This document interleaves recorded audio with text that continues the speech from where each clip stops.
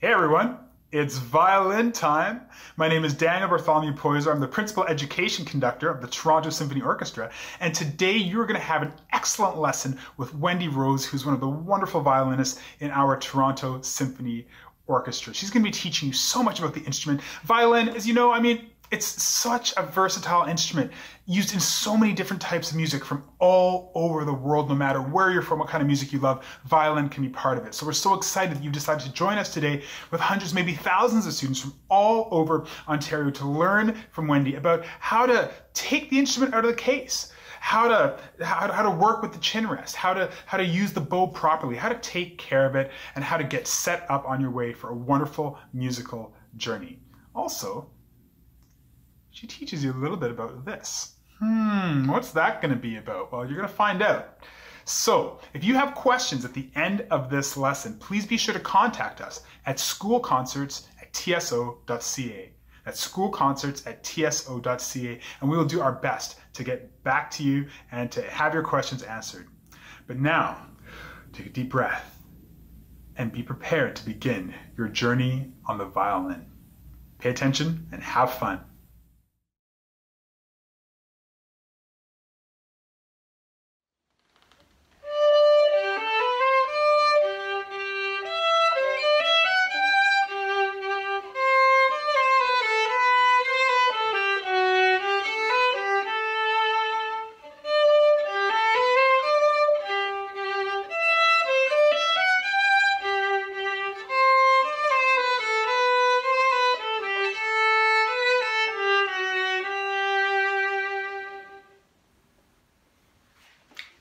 Everybody, and welcome to my sound advice tutorial on how to play the violin. I'm so happy you could join me here today so I can share some tips with you and hopefully make this experience a little more fun and exciting. But before we even get to the violin, I'd like to show you this elastic band that I brought here with me today. If you happen to have an elastic band nearby, you might want to consider pausing this video and running to get it so perhaps you could do this experiment with me. If you don't have one, no worries. You can always do this later on your own if you'd like to. So, have you ever noticed that when you stretch an elastic band and pluck it, it wiggles back and forth very quickly. It's making vibrations, and these vibrations actually produce sound waves. And if you listen very carefully, you'll notice that the sound waves are making musical notes. What's more, the tighter you pull the elastic band, the higher the pitch. Which means that you can actually make little melodies on an elastic band. Isn't that cool? I used to do that all the time when I was a kid, try simple melodies like Twinkle Twinkle Little Star, Mary Had a Little Lamb. You might have fun doing that on your own if you'd like to.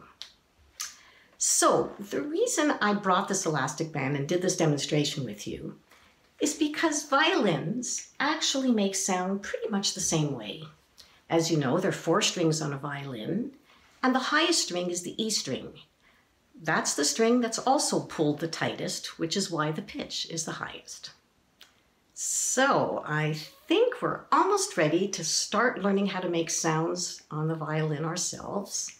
But first, I'd like to show you how to set up a violin and bow correctly. So this is my violin case. It's black and it's shaped like a violin. Yours may look very similar. But I also have two other cases at home and those are rectangular and shaped on the inside. Both kinds of cases are very popular with students and professionals alike.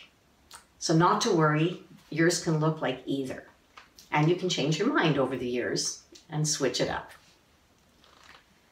So the thing about the violin is that it can seem pretty overwhelming at first. I mean, you have to learn how to hold it with your left hand, then you have to put the bow in the right hand, you have to coordinate the two. It can really feel quite confusing at times.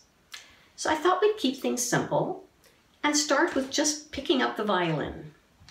As you know, the violin has a long neck, and that's the part that you should pick the violin up with. You can also put your other hand on the chin rest to balance if you'd like. but you should try to avoid touching the surface of the violin. It's actually very delicate and can scratch quite easily. So when you're picking up the violin or putting it away, always secure your hand under the neck. The part closest to the pegs is probably the best part to use. And when you're not playing the violin, get in the habit of putting it back in the case the same way. It's really best not to leave it hanging around.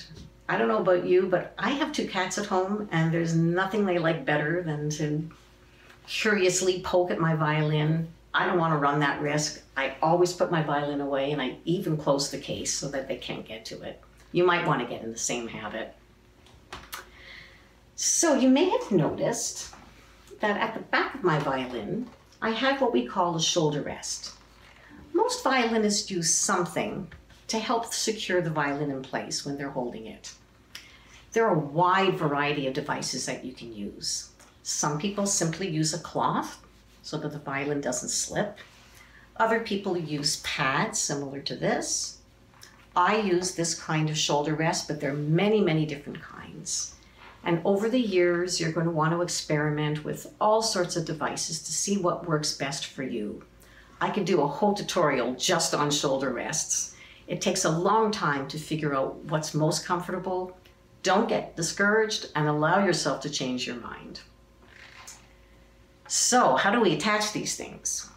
Well, if you're using a pad, I'm going to use this handkerchief as an example, but any sort of sponge or pad would work just fine. You're going to put it at the back of the violin. You're going to take an elastic band you're going to use the edge of the violin to secure the elastic band. Pull it tight. And see where there's like a little end pin here? The elastic band will wrap very nicely around there and help secure whatever you've put at the back in place. If you're using a shoulder rest, you'll notice that the shoulder rest, whatever brand you're using, has some sort of feet. The feet attach to the edge over here on one side. And then you put it in an angle and sort of slide the other side carefully in place. And then pull back a little bit so that it's secure. These shoulder rests can move. They can be pushed in one direction and then in the other direction as well. And that too takes a lot of experimentation because you might prefer it more at one side or the other. It will really be a question of what fits your anatomy best. Again, a lot of experimentation. Don't get discouraged. So the next step, I'm going to put my violin away, holding by the neck as I showed you. The next step is the bow. So in my case, I happen to have two bows. One is more than enough I just happen to have a spare. The bows either slide out at the end near the frog, the heavier square part, or there might be a little clip that you have to turn. Mine turns with a clip. I'm holding the frog very carefully, sliding the tip out, and then picking up the bow. The tip of the bow is actually quite fragile it's best to try to hold the bow any way you can, even holding your bow as a fist right now is just fine. And learning to be very, very gentle with it. Bows are very fragile and can break. When you put the bow back in the case, tip first, slide it into the slot, attach the frog. Now you'll notice some cases ask for the bow especially if you're using the upper slot. They want the bow upside down. Others want the bow right side up. Every case is a little different. You might want to ask your teacher if you're uncertain or just experiment yourself. You should never force the bow. It should go in properly. Mine at the top goes in upside down. The bottom slot goes right side up. And I turn the little clip.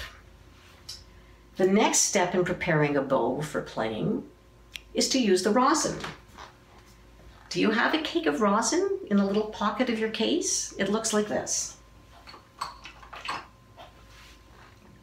Mine is black, some of them are yellow, some are round, some are square. Not to worry, they all serve the same function, which is to allow for some friction on the bow hairs. Now, before we actually put the rosin on the bow, I want to talk a little bit about the bow hairs.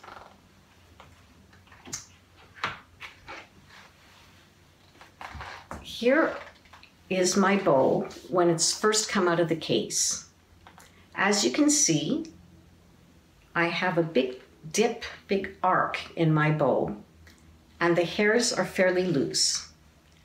That is the way I store my bow in the case. The reason for that is because our houses are actually generally quite dry, especially in the wintertime.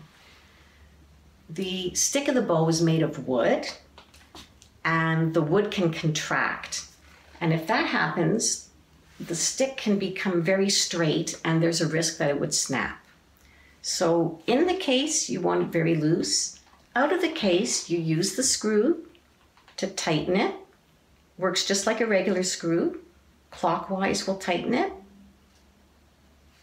Counterclockwise will loosen it.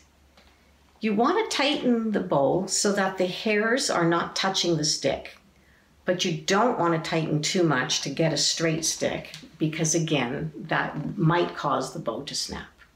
Always get in the habit of loosening the bow when you put it back in the case. For now, I'm going to make sure that I have the right distance between the stick and the hairs. Looks good to me, and I'm ready for the rosin. So, if you've ever watched the Olympics, you might have noticed that gymnasts use rosin on their hands to secure a grip on the apparatus that they're using. We need sticky stuff on the hairs because then they can grab the strings of the violin, allowing the strings to vibrate. And that, as you know, is what produces the sound. So the best way to apply the rosin is to concentrate on the area at the frog and the area at the tip. What I generally do is something like one, two, three, four, five, six, seven, eight at the frog, Slide it all the way to the tip. One, two, three, four, five, six, seven, eight. Slide it back again and maybe do one or two long strokes for good luck. And we're ready to go. Next step, how to hold the violin, how to hold the bow.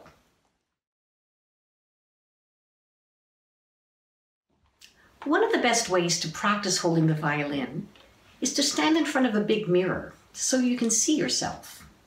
If you don't have one available, no worries. I'll try to give you some tips on how to do it correctly. So the first thing you want to do is establish good posture. That means your feet are going to be hip width in front of you, just maybe a foot between each of your two feet, balanced on both feet. And you might want to turn your left foot at what I would call a 45 degree angle. For those of you not sure what that is, it's not straight, it's not completely to the side, but halfway in between. With that foot turned at that angle, when you place the violin, your arm is going to be aligned with that left foot. So, two things to bear in mind. Where do you hold the violin? Let's start with your hand underneath the neck towards the pegs. Later on, you'll learn how to move your hand up and down, but for now, this is the best way to put your hand. Fairly secure, not squeezing, but not too loose, so that you can balance the weight of the violin under your neck. And now you want to know how do you put the violin under your neck? Well, you probably have a chin rest and here's the thing why is it called a chin rest? It doesn't go under our chin, it actually goes under our left jawbone. Fits just comfortably under there. If you're using a pad or a shoulder rest, that part is going to straddle your shoulder. You're going to put it up against your neck. Your jawbone is going to sit Gently, again, not squeezing, but with just enough weight so that you can balance the violin between your jawbone and your hand, like this. Now, you want your left hand to be fairly straight in line with your arm. Your fingers are going to be curved and you're going to have to angle your hand just a little bit so that your pinky finger is still hovering over the strings or able to push down the strings along with your other fingers. As for the thumb, the thumb is going to be a little bit in back of your hand. And for the time being, it's going to be fairly straight, but again, not squeezing. Your thumb will probably move when you play, but this is a good starting position. So here's the overall position. In all likelihood, if your violin fits you properly, it's going to form a gentle V with your arm. If the violin is a little bit too big for you, it may look a little bit more like this. You'll grow into the violin. Don't worry about it if there's no smaller violin available for you at the moment. So let's go over it again. You've got good posture, left foot at a 45 degree angle, left arm in line with the left foot, straight hand, fairly straight or slightly curved thumb on the other side, fingers over the strings, and you're ready to go.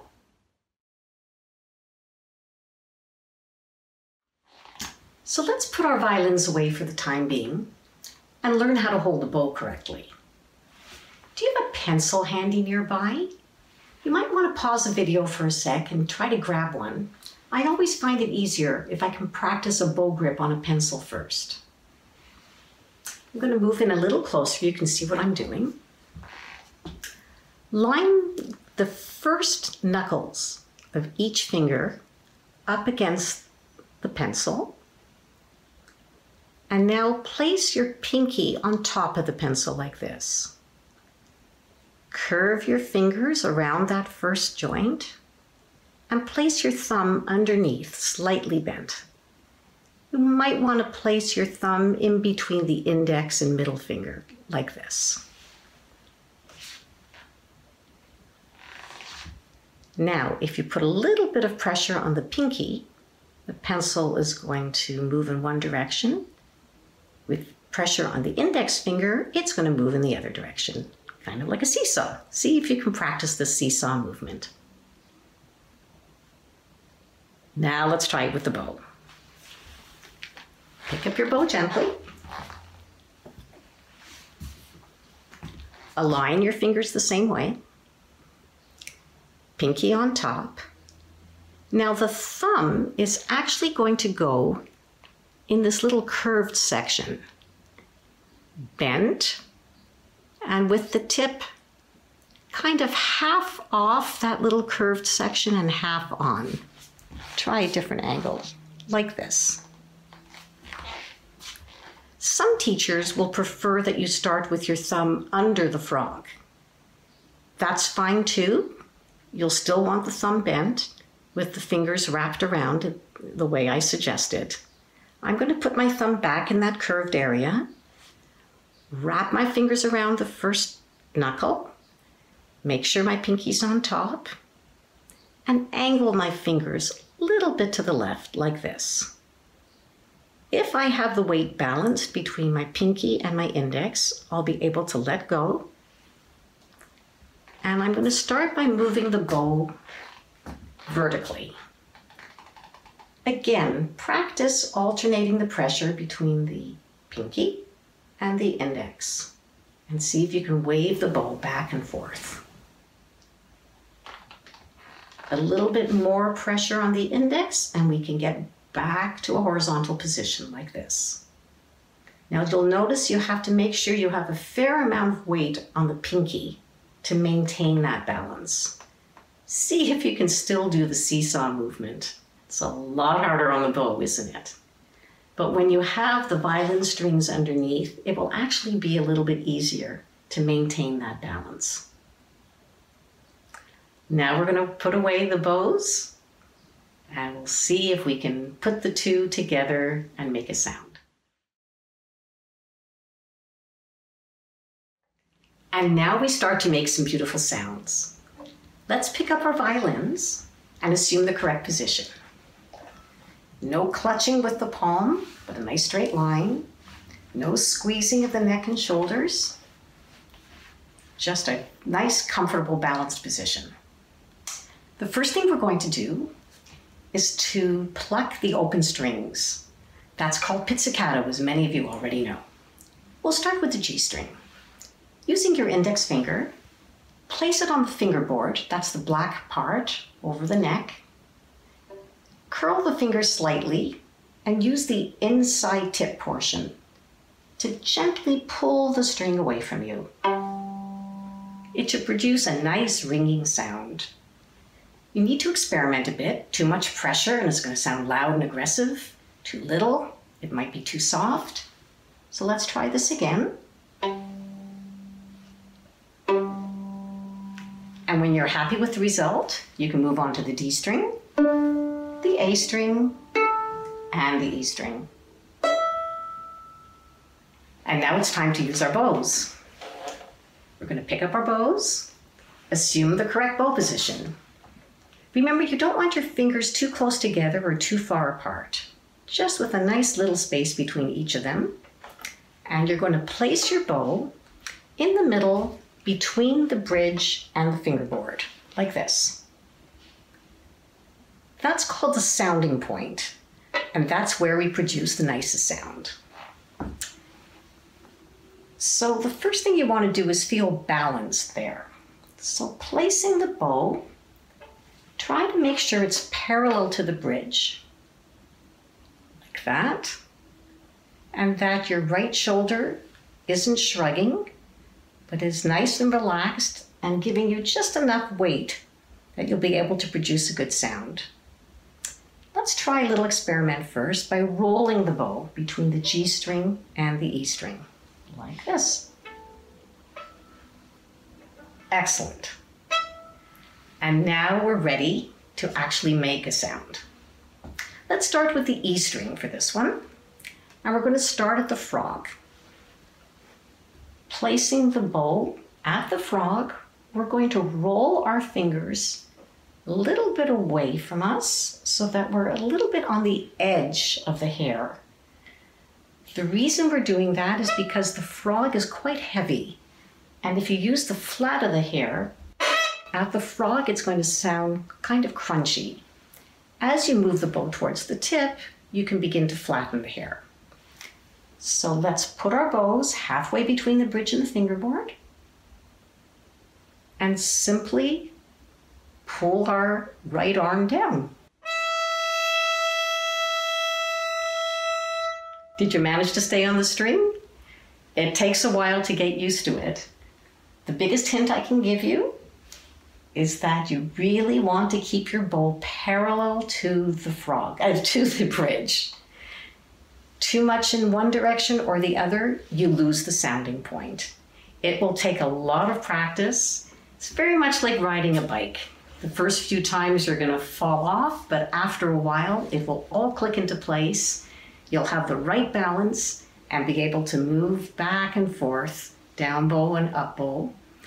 As long as you don't move the bow too quickly and you maintain that beautiful straight angle halfway between the bridge and the fingerboard.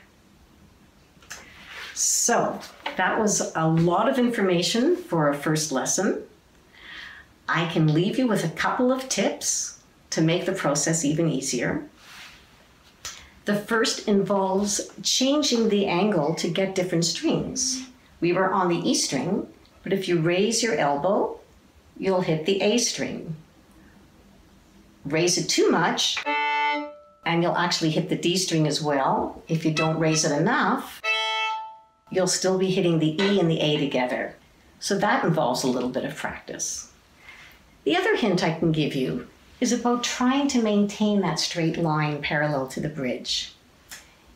If you actually feel like you're pulling a little bit out on your down bows and a little bit in on your up bows, you have much more of a chance of producing a straight line. I'm pushing out, but to you it probably looks straight. And now I'm pulling in. The reason for this is because our arms want to move in an arc. But if we do that with the bow, again, we're going to have the bow sliding all over the place and losing the sounding point. So that was an awful lot of information for one lesson. Remember, it's all about experimentation and practice. I've spent my entire life practicing the violin, trying every day to produce a better and better sound. Don't get discouraged. There's no such thing really as a bad sound, even if you squeak or you're playing too loud or you're playing too soft. These are all effects that you'll be able to use later, so none of your effort is wasted. In the meantime, I hope these tips were helpful. Happy experimentation, and I hope you have tons of fun learning to play the violin.